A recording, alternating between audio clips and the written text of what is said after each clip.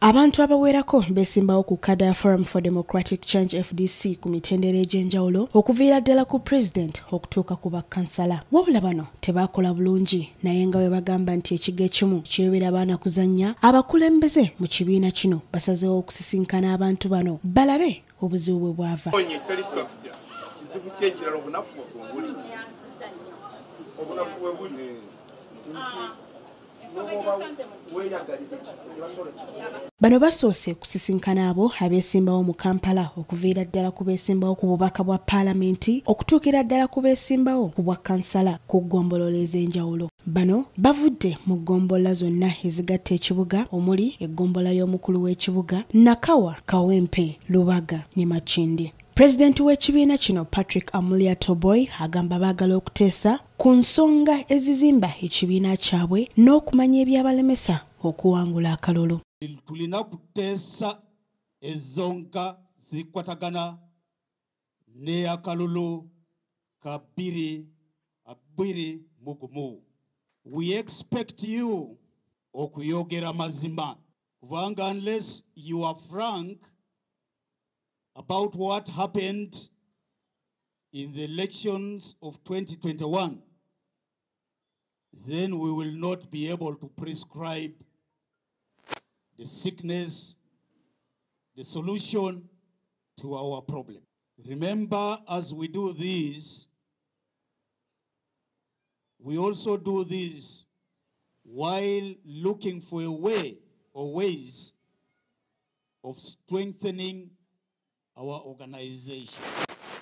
ono agamba obuzibu baasinga kubusanga mu buganda kubanga national unity platform yawangula ebifo ebisinga kyokka amuriat agamba nti okunoonyereza kwe bazze bakola nga batalaga ebitundu byonna bakizudde nga fdc bwekyalina obuwagizi era n'asekerera abo abalowooza nti fdc yaggwamu A lot of challenges in that election, especially wano mu Buganda.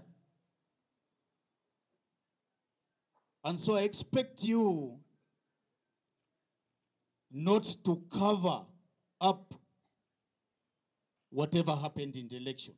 There are those who decided to shun their political party at a time of great need. We must also speak about them without fear or favor. You decided okutangatanga, kutambula mbaliga. You want to dismiss those who thought FDC is dead. ssentebe wa fdc waswabiriggwa asabye bannakibiina okwongera okuleeta bammemba abajja basobole okwongera amaanyi mu kibiina kyabwe. Biriggwa ayagala n'abaali badduka mu kibiina okukomawo bakitwale mu maaso. Tugezeeko nga bwe tusobola okulaba nga tuleeta abantu abapya mu pate yaffe okusingira ddala abavubuka. Mutandikire waka okukola recruitment. Naye mukwane abantu aba- aba- abatuvaako mbazze mbagambe bannange mukomeewo eka.